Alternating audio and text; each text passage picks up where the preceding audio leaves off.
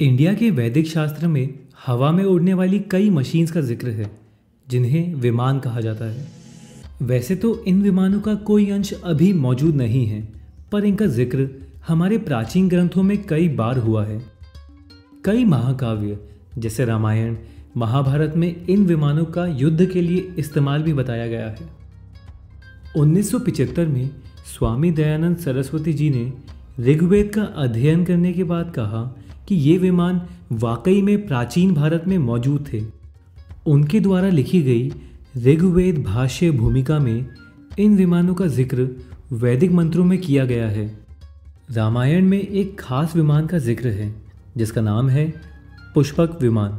ये विमान वैसे तो कुबेर का था, लेकिन उनके भाई रावण ने उनसे ये विमान हथिया लिया था। पुष्पक विमान महान आर्किटेक्ट विश्वकर्मा ने ब्रह्मा जी के आदेश पर बनाया था। ये विमान इतना विशाल था कि ये लगभग एक पूरे शहर जितना बड़ा था। अब सवाल ये बनता है कि पुष्पक विमान और उस जैसे कई प्राचीन विमान कैसे काम करते थे? क्या उस समय कोई खास विज्ञान मौजूद था? प्राचीन भारत के लोगों ने अलग अलग विमान बनाने और उनको कंट्रोल करने की टेक्निक के बारे में कई चीज़ें लिखी हैं, जो कि अभी भी मौजूद हैं। इनमें खास तौर पर चार विमानों के बारे में बताया गया है। शकुन विमान, सुंदर विमान, रुकमा विमान और त्रिपुरा विमान। संस्कृत के कुछ ऐसे दस्तावेज़ मौजूद हैं जो कि ये बताते हैं कि विमान कैसे बनाया जाए।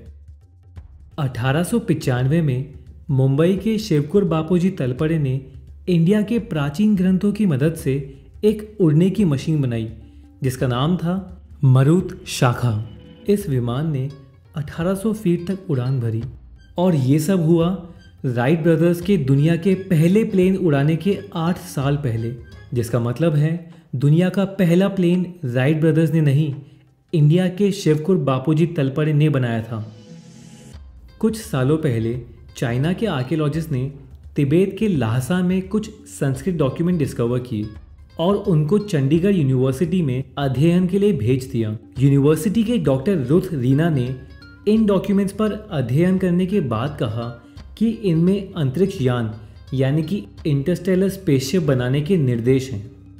इन डॉक्यूमेंट्स में और भी कई रहस्य, जैसे अदृश्य होना, पहाड़ के जितना भारी होने के बारे में बताया गया है। लेकिन हमेशा की तरह यहाँ इंडिया में साइंटिस्ट ने इन डॉक्यूमेंट्स को सीरियसली नहीं लिया। लेकिन जब चाइना ने अनाउंस किया कि वो अपने स्पेस प्रोग्राम में ये जानकारी यूज़ लेंगे, तब इसकी अहमियत यहाँ बढ़ने लगी। 1875 में इंडिया के एक मंदिर से प्राचीन ग्रंथ मिले, जिनका नाम था वैमानिक शास्त्र, जो कि ऋषि भारद्वाज ने लिखे थे। वैमानिक शास्त्र में इंडिया के प्राचीन विमानों के बारे में जानकारी थी। उनमें इन अद्भुत मशीन्स को बनाने की जानकारी थी, और तो और कई रहस्य थे, जैसे कि इन मशीन्स को इनविजिबल कैसे किया जाए। वैमानिक शास्त्र को उन्नीस सौ उनसठ में संस्कृत से हिंदी में ट्रांसलेट किया गया, फिर बाद में 1973 में इंग्लिश में किया गया। वैमानिक शास्त्र में विमानों की तस्वीरों के साथ साथ आठ अध्याय, यानी कि आठ चैप्टर्स हैं। इसमें तीन तरह के विमानों के बारे में बताया गया है, जिसमें ऐसे उपकरण हैं जो कभी आग नहीं पकड़ेंगे और कभी टूटेंगे नहीं। वैमानिक शास्त्र में विमान के 31 ज़रूरी पुर्जे और 16 पदार्थों के बारे में बताया गया है। समरंगन सूत्रधार एक वैज्ञानिक ग्रंथ है जो विमान से हवाई यात्रा के बारे में बताता है। इस ग्रंथ में 230 श्लोक हैं जो उड़ान की जानकारी देते हैं।